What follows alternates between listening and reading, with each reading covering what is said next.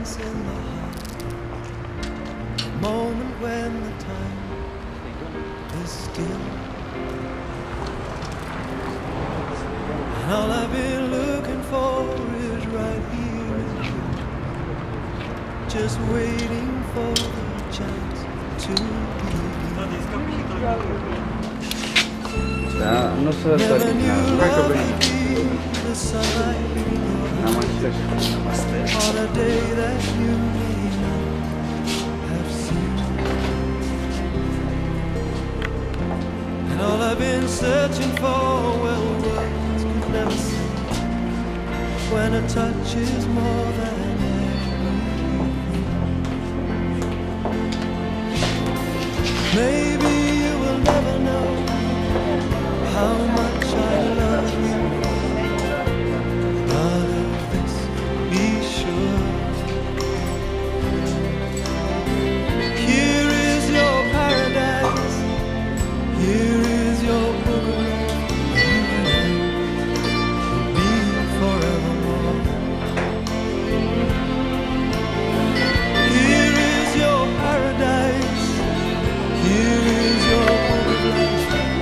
Dacă ceva era impresionant în India, erau florile astea, buchetele, în toate hotelurile, restaurantele. follow the bright light Vine, vine, vine. where the love must go. Eu And you will wake in the morning How are you, to Manoj? a brand new Huh? day. Something special for you? Take all Everything your is special worries Today. away. But you are uh, very this is so emotional. Enthusiastic. Enthusiastic.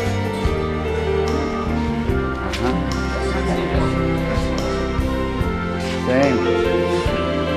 Uite, lamb chop, paneer tikka, pork tikka, vegetable, kebab,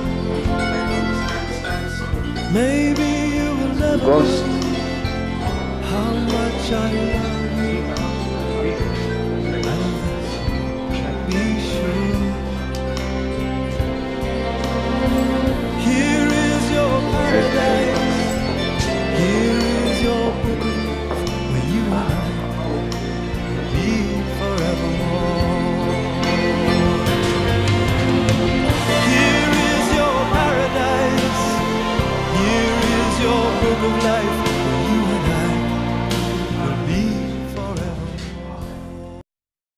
Într-o seară, celebra comoara lui Tutankamon. E adevărat, doar pe suport video. A fost vorba de fapt despre lansarea volumului Mirajul civilizațiilor și fascinația muzeelor, scrisă de Dan Zamfirache. Volumul prezintă pe larg povestea cele mai frumoase colecții din lume, comoara faraonului Tutankamon.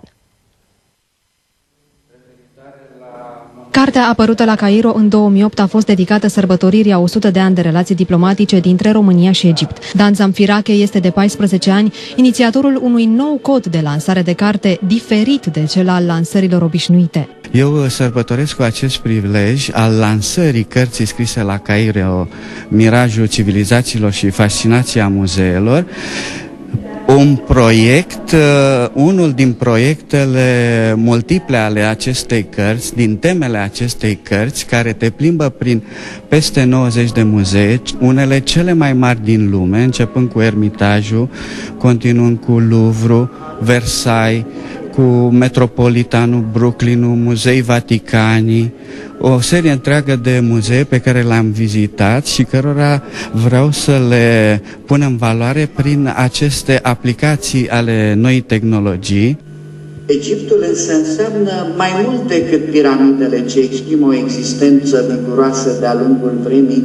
Procedeul se cheamă uh, lansări IT, adică uh, practic autorul stă numai uh, 10 minute, vorbește despre ce este vorba și dau în continuare drumul DVD-ului. Dintre volumele publicate de Dan Zamfirache amintim Călimănești 2038, monografii ilustrate, impresii de călătorie, Indiei și Călimănești 2000. Comoara lui Tutankamon este atât de vestită în lume și de neegalat încât la ea vin uh, oameni din întreaga lume, din îndepărtata Japonie, din îndepărtata America. Vin să se minuneze și vroiam ca acest lucru să facă plăcere și publicului românesc. În final l-am întrebat pe Dan Zamfirache despre blestemul lui Tutankamon, iar răspunsul a fost unul neașteptat. Blestemul ne paște. Chiar la prânz discutam cu doamna directoare și în timp ce aranjam uh, acest eveniment, deodată s-a stins lumina. Și era ca un făcut, adică pentru mine era ca și cum mi s-au fi tăiat degetele, pentru că prezentările mele se bazează pe electricitate.